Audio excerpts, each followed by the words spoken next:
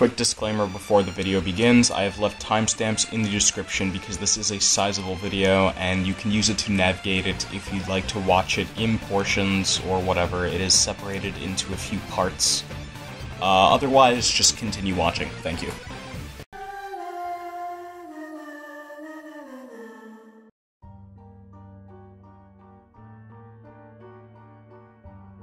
So, when it comes to fictional characters, I tend to find myself really enjoying fictional psychopaths or sociopaths.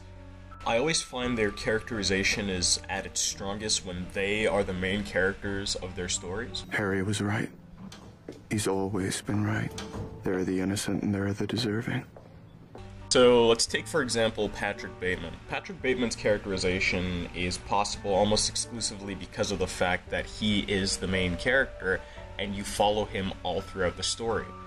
Bateman is portrayed as this emotionless half person who very much values superficial, petty, and banal things in his life. Wait a minute, it's £119. Oh, I can't choose! It's a diamond necklace. Does that say Louis Vuitton? However, the only reason he truly values these things is because he almost exclusively views himself in relation to other people, especially his co-workers in mergers and acquisitions. It's really super. How did a nitwit like you get so tasteful? I can't believe that Bryce prefers Van Patten's card to mine. But wait. The movie shows his disingenuous demeanor by showing us how he behaves in public around other people and how he behaves by himself, or sometimes his inner speech, since a lot of the movie is spent within his own thoughts. Take, for example, this scene I'm about to break down for you demonstrates that first aspect very, very well. Oh, who gives a rat's ass? Hey, that affects us. Oh, well, what about the massacres in Sri Lanka, honey? Doesn't that affect us too? I mean, do you know anything about Sri Lanka? How, like, the Sikhs are killing, like, tons of Israelis over there? So, this actually has very little to do with Patrick Bateman, but it does have to do with the sort of theme of the movie, and I thought I should point it out since I do love this scene.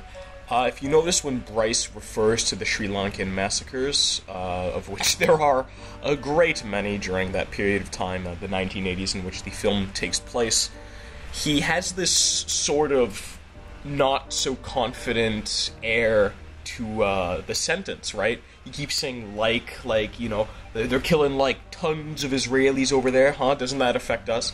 And it sort of is subtly hinting at the fact that, yes, just like Patrick Bateman, he's also very disingenuous, and it's it's the theme of the movie in which people are, are very very pretentious and superficial to the point where this actual psychopath blends in right among them, which it's really funny. But uh, moving forward. Come on, Bryce. There are a lot more important problems than Sri Lanka to worry about. Like what? Well, we have to end apartheid for one and slow down the nuclear arms race, stop terrorism, and world hunger. We have to provide food and shelter for the homeless and oppose racial discrimination and promote civil rights while also promoting equal rights for women. We have to encourage a return to traditional moral values. Most importantly, we have to promote general social concern and less materialism young people. So the scene right here is brilliant because it's showing everything I surmised about Patrick Bateman in a very subtle way that doesn't, you know, exactly scream it at you, right? So Patrick right here feels threatened by Bryce because Bryce brought up that social issue about Sri Lanka. Why? Because Bryce is also doing a very similar thing to Patrick in which he's talking about something he doesn't care about to gain approval or show himself as somebody who's compassionate. In turn, Patrick begins to list off a litany of random social issues that he knows about in no particular order and that he especially doesn't care about. And this is none more evidenced when he proceeds to list of several that go against his values as a person. So, first of all, he actually really doesn't care about homeless people. In fact, during the movie, he murders a homeless man. It's one of the first murders we are explicitly shown on screen. Secondly, he really doesn't care about women's rights. He's shown sexually harassing his secretary. He's also shown soliciting hookers, and not only does he solicit hookers, he abuses them sexually, very much so to the point where one of them had to uh, supposedly go to a doctor. And lastly, he wants to deter materialism in young people. Oh my gosh, guys, check it out. And this one goes against him as a person, since American Psycho is a movie about yuppie culture, and yuppies are literally young, upstart, rich dudes with well paying jobs. And he is definitely a yuppie, and not only that, he's shown during the movie having very expensive designer items such as Oliver's People's glasses, his Valentino suits that cost, you know, several grand, his apartment, etc. So, of course, the only way you're able to differentiate this from his actual genuine self is because you are shown him in different contexts. You know that as soon as he leaves this restaurant and he goes back to his house alone, he's going to turn back into this apathetic person who really doesn't give a fuck about women's rights. Now, as great as Patrick Bateman is, and I could talk about him for hours, I actually only brought him up to showcase the contrast in how Jacket from Hotline Miami is characterized. What I wanted to show you with Patrick Bateman is that good characterization is hard. It's not hard to characterize a character, period, but to make it in such a way that you're not screaming it at the viewer and the viewer can figure out things by himself and truly appreciate the character you've made is something else entirely, especially with something as complex as a protagonist psychopath, somebody who acts disingenuous and has motivations that are beyond typical reasoning, a protagonist that, for the most part, most human beings can't relate to. So, that being said, Jacket from Hotline Miami is incredibly unique. Jacket is also a sociopath slash psychopath. Uh, jury's still out on that one. They're very, very interchangeable. But Jacket never speaks. In all of the Hotline Miami franchise, Jacket is a silent character. So, that being said, his characterization is very, very unique, and it's not something I've seen talked about too much. So, in this video, I'm going to be analyzing how unique Hotline Miami's characterization of their, of its main character is in relation to pretty much every other video game. I haven't really seen one do this. Alright, well, uh, enjoy, that being said. So, before continuing, I'd just like to establish a few concepts about Hotline Miami 1, right? Um, just in case anybody hasn't played the game before. That being said, this video will have spoilers in it, but I would think that is a given. Regardless, Hotline Miami 1 is a game lauded for its really fast, ultra violent gameplay. It is a top down shooter, it moves really fast. Uh, it has amazing soundtrack and takes place in 80s Miami, so of course, uh, 80s Miami brings along with it its looks and aesthetics that are ever so popular nowadays. But one thing it does really, really well that nobody really talks about is its interesting use of characterization, right? So, let's take um, Chell from Portal. We don't know anything about Chell from Portal. Um, everything GLaDOS talks says about Chell is mostly a lie. Remember before when I was talking about smelly garbage standing around being useless? That was a metaphor. I was actually talking about you. And I'm sorry. You didn't react at the time, so I was worried it sailed right over your head, which would have made this apology seem insane. That's why I had to call you garbage a second time just now. But Chell is a, a mute character that you don't get to know anything about because it's unimportant. It's just a it's a speaker for the player. But in Hotline Miami, Jacket is not meant to represent a character. Well, well, well, it's part two of the video. I, I, I, I fucked up my my last sentence. Actually, um, I didn't mean that Jacket doesn't represent a character. I meant that Jacket is not a vessel for for the player specifically. Jacket is, is very much a character. I, uh, it's, it's like a so that was that was stupid, and I, I'm I'm editing this way way in post. This is a few days later, so uh, I, I I fucked that up. All right, now now enjoy the rest of the video. Fantastic! Another good day's work. Jacket has history. He has motivations. He has a personality and the way the game characterizes him is through his own silent inner speaking, right? Because you, he never says anything, but he has inner speech with himself, and it's almost exclusively represented visually. And what, what do I mean by that? Well, the majority of the first game takes place within Jacket's head, okay? What this allows the player to do is examine something that seems rather mundane or unimportant and jump to a conclusion with it because it's his own subconscious mind that is, you know, creating this thing in the game world. And it actually allows you to find out a surprising amount about Jacket. Now that I've made all these ideas apparent to you, I'm going to move forward with the next part of the video.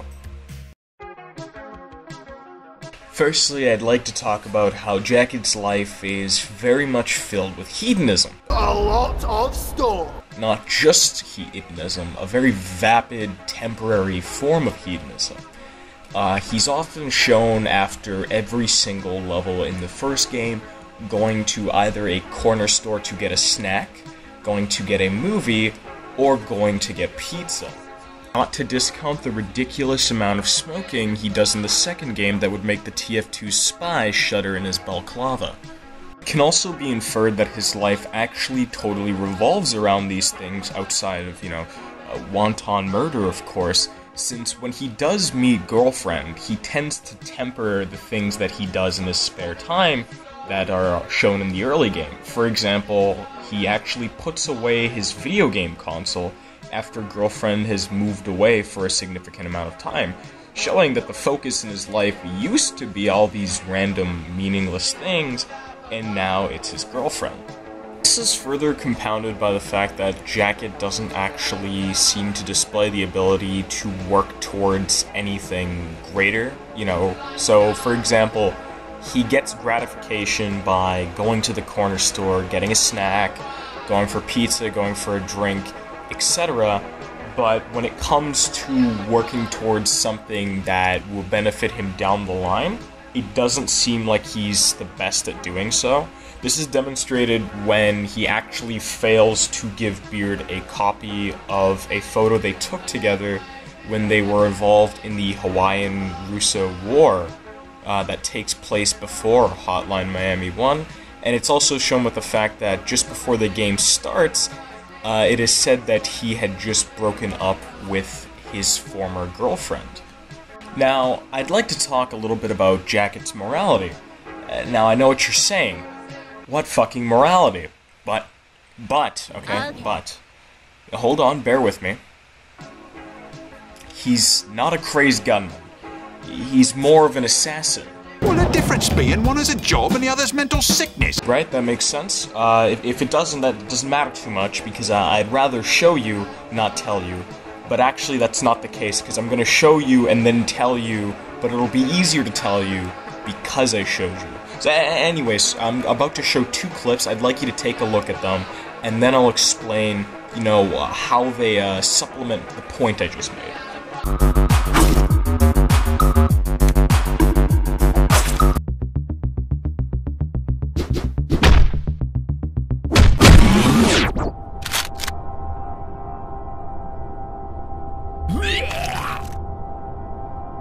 So these two clips that I just showed you actually take place relatively close to each other when it comes to like the average playthrough. Um, and what's interesting about them is you would almost think that they're two different people. The first clip shows a jacket that has a total disregard for human life. He kills those people no problem in a very professional and quick manner, and he's done with it. He's not even thinking about it anymore, it's whatever, it's in the past. The second one is somebody who killed a hobo in the alley had to think about it for a little bit, and then threw up at the realization of his actions in total disgust. How can that be? In, in fact, it makes even less sense when you think that chronologically the second clip is chronologically the second clip, like the, the way I showed them, that it's in that order. So, what's the distinction here? Well, Jacket operates under this uh, sort of morality system where his personal bias sort of vindicates him to kill those previous people. See, those previous people, if you haven't played Hotline Miami 1, are of the Russian mafia, right? And of course, Jacket hates the Russian mafia because um, technically the Russian military killed his best friend. So he sort of associates all Russians with the Russian military from the 1980s, and as a result, you know, when he kills a Russian mafia member, there's this personal, you know, revenge that, that plays a part in it. As a result, he totally dismisses his actions and disassociates from them. It doesn't matter because he fucking hates them. And of course, shown later in the game, he believes that they hate him, okay? Secondly, um, the hobo is a regular person, okay? So killing a regular person no longer gives that same sense of vindication to Jacket, right? Now that, you know, he can't rely on the fact that, oh yes, these people have wronged him. No, it's a random hobo, right? It, the hobo's done nothing wrong to him. So, of course, naturally, he's disgusted with his actions and he throws up. Uh, some people like to be of the theory that the hobo is an army veteran. I haven't found anywhere that says he is, so I'm not of that theory. I, I like more the idea that literally there is a distinction between a normal member of society and a Russian to Jacket. This whole stigma Jacket has with the Russians is further compounded when you look at the character Rasmus. Now, Rasmus is not a character that exists per se, at least not in any context outside of Jacket's mind. Uh, there's many times during the game Jacket has these sort of psychological episodes that take place within his head, uh, in which he's talking to these masked people, and, and they all have animal masks on, okay? Except they're not wearing the masks, the masks themselves are those people. You have uh, Don Juan, who um, is meant to uh, represent in some ways Jacket's girlfriend. You have Richard, who looks very similar to Jacket himself. And then, of course, you have Rasmus, who I'm about to talk about. Rasmus is an owl that is wearing a white suit jacket and a teal shirt. Now, uh, if you recognize that, uh, you know, set of clothing, it's because that is the typical attire for the Russian mafioso within the game. Whereas Don Juan and Richard are positive and neutral to Jacket, respectively, Rasmus is rather negative towards Jacket, being downright rude at times, speaking with a lot of exclamation marks, telling Jacket to leave, accusing Jacket of not being a nice person, etc. So, this sort of gives you how Jacket views the Russians in general.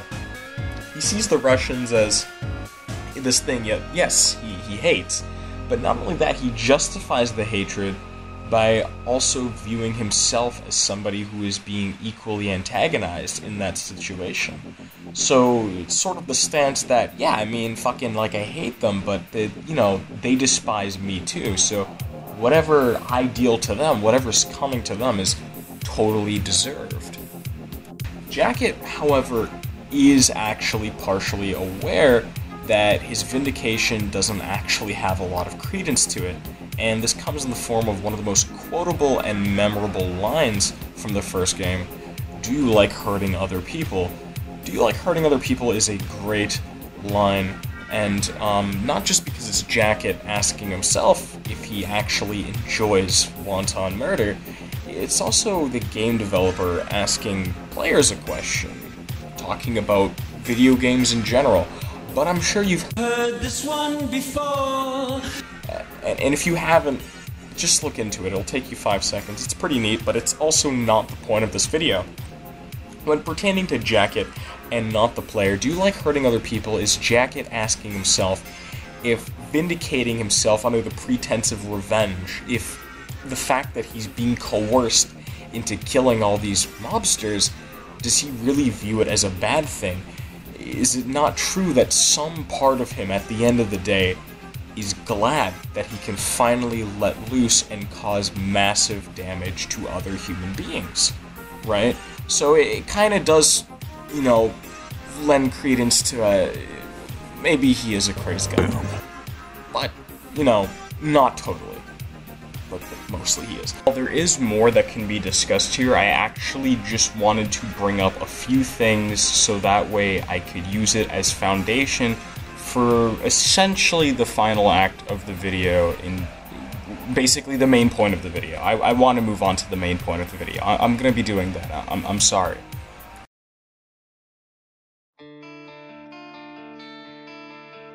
Now, I know uh, some of you uh, smart, handsome uh, gentlemen and uh, potentially gentlewomen. What's the female equivalent for, for gentlemen? I can't. Uh, what, what is it called again? Uh, you individuals of uh, the realm might be asking yourself, what does autism spectrum disorder have to do with Jacket? And uh, my response to that is uh, I'm not talking about autism spectrum disorder. Why the fuck would you think that? Jacket is a serial killer. People with autism don't upload to their channel for six months. Now, if for some reason you've never watched a Bad Ideas video, here's a summary of their channel in their own words. Yo, this company is progressing slowly. I don't think there's a lot of potential. I don't think that it should be here. This is really bad. You couldn't have just said that. You have to Listen, it's so bad that it's hard to say that it's bad whenever I think about it. Hey, what's going on, guys? Seriously, please upload more. I'm like your biggest fucking fan.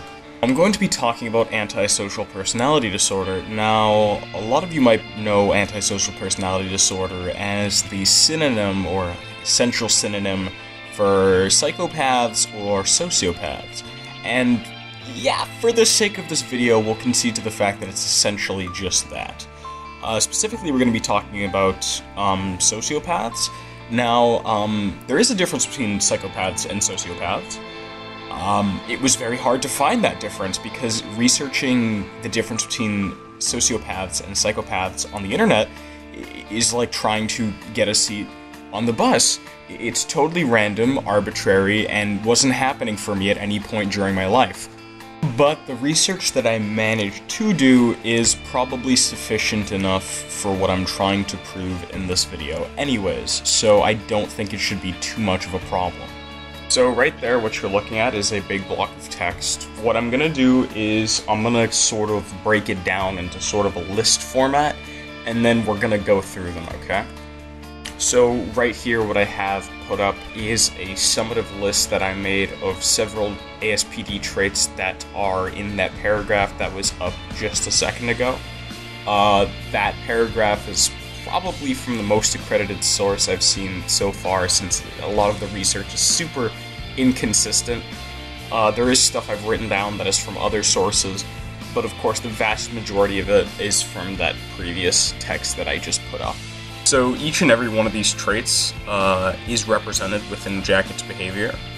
Um, firstly, his consistent disregard for standard human morality shouldn't actually be surprising to anybody, and I'm sure it isn't. Um, throughout the whole game, he slaughters incessantly, and while he does question whether he enjoys murder or not, he never actually questions if, you know, murder is something that's wrong if he shouldn't be doing it, etc. That isn't too important to him. There are only two characters he does treat with any sort of kindness um, while he's on the job, and that is girlfriend, of course, and uh, the rat mask individual whose name escapes me for the moment. Um, but the latter is only spared under the pretense that he sort of saw himself in that individual. So it's arguable to say that that's even really out of character to begin with. But regardless, Jacket definitely displays a consistent disregard for morality, we know that much. Uh, secondly, while Jacket does exist outside of, you know, regular traditional social norms, it's not to any egregious uh, extent. At least not uh, in relativity, anyways, compared to, you know, uh, his other prevalent behaviors. Um, but if you want to get technical, uh, his penchant to collect newspaper clippings of you know the murders that he's committed as sort of you know memorabilia for his rampant slaughters, and the fact that in the second game when he is taken into court and in prison, he's less guilty and more just resigned about his life as a whole and sort of surrendered the fact that he never truly comes to any moral understanding about himself, you know, would suggest that, yeah, he's definitely outside of the norm, I suppose. He is shown to be arrogant in a pretty big way, and that has to do with the 50 Blessings murders that he's being ordered to commit throughout the game, which is a big part of the plot. Um, he eventually resolves to get revenge on the people who have been asking him to, you know, do take these jobs because of the fact that, you know, his girlfriend got killed as a result of his association with them. But his modus operandi when it comes to doing this actually only ends up furthering their plan. So his his very limited, you know, view and his his very banal, blunt approach sort of in a way was was very detrimental to him. So you know that that would constitute as at least some form of arrogance. Jacket is shown to be quite callous on a few occasions. Uh, one that comes to mind very easily is in the chapter Decadence of the first game. An enemy is introduced to the player as this sort of mini boss that takes a few hits to knock down. Once you knock them down enough times, the man begins to beg for his life. Um, you know, he, he's totally high at the time, if I remember correctly, and essentially he's beaten, right? And understandably, Jacket does have to kill him because of, you know, how he's been coerced into handling these situations. He to kill everybody in the building. But the way he goes about killing that person is so savage and inhumane that, you know, it, it would be very hard for me to say, yeah, he gave that surrendering man, you know, uh, the, the quickest death he could. No,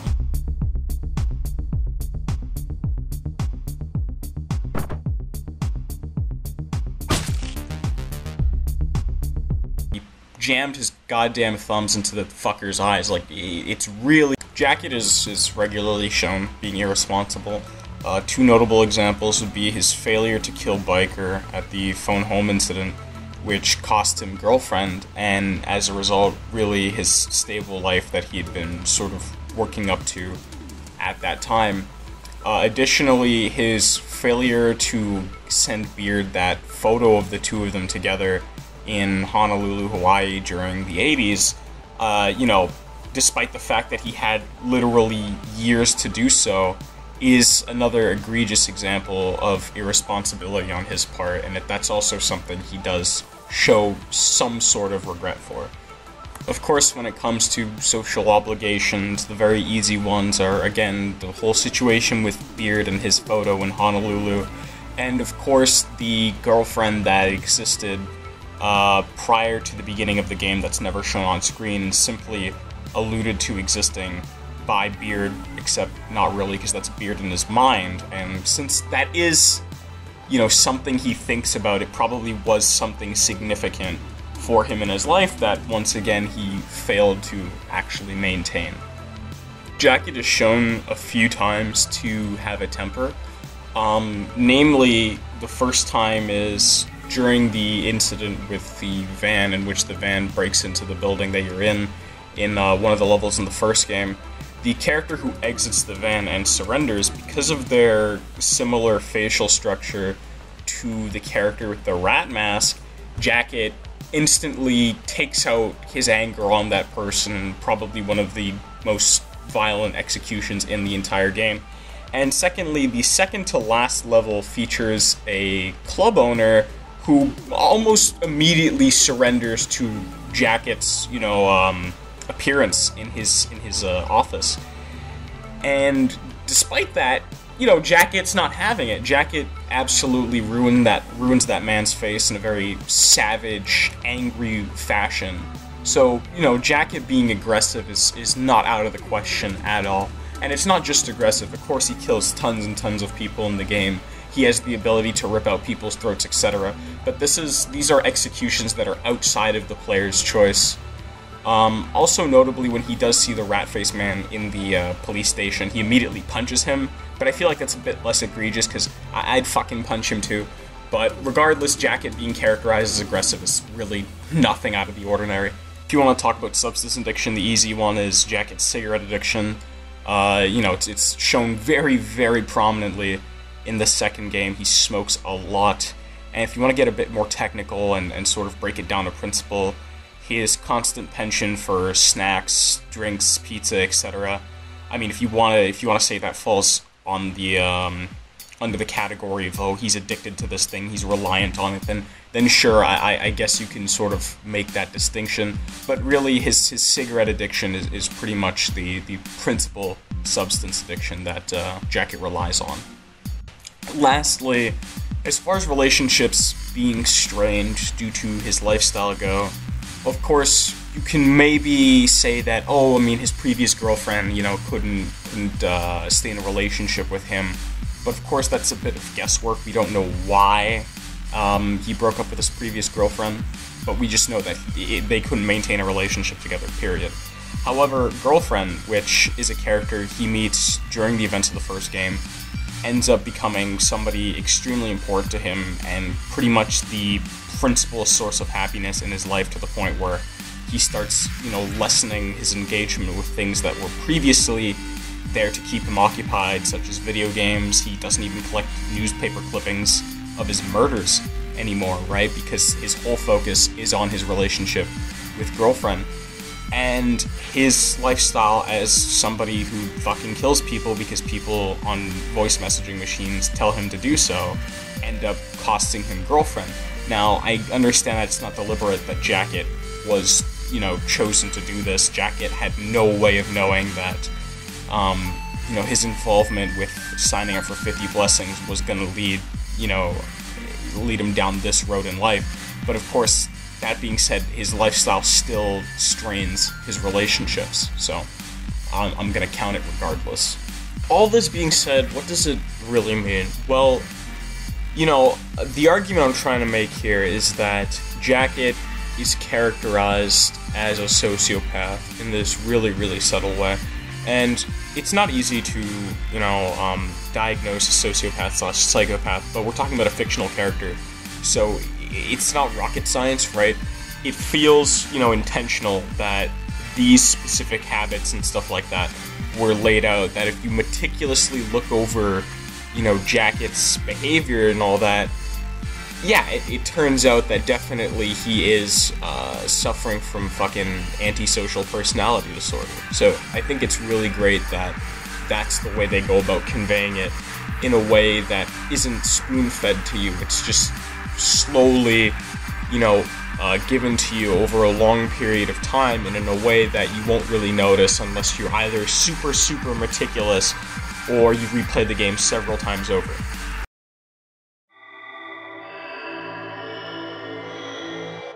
This brings us to the epic conclusion of the really long video after a streak of videos that were not very long from me. But this one has a bit of editing in it, so I put a lot of effort into it, and I hope it accomplished what it set out to do. And I hope it inspired you to click the, the red button and, and subscribe to my YouTube channel so my number can go up. Uh, also, if you could comment any any nitpick at all, any any criticism at all in the comments, do so. Even if it's the smallest, most irrelevant thing, I don't care. I'm, i have no problem hearing it, and maybe if it's you know, uh, maybe it can make the world a difference. One of my good friends, you know, he gave me a criticism a little while ago, and I thought about it, and as a result, my videos have gotten just better because of it. So, you know, I implore you to do that if if you want to, anyways. Regardless, I'm gonna go take out the washing. It's um, it's done now, and and the last time I forgot to take it out of the washing machine and put it in the dryer, so I got up and I, I had to wear fucking shorts, and it's it's winter, so it was a bit embarrassing. But anyways, uh, take care. I love all of you.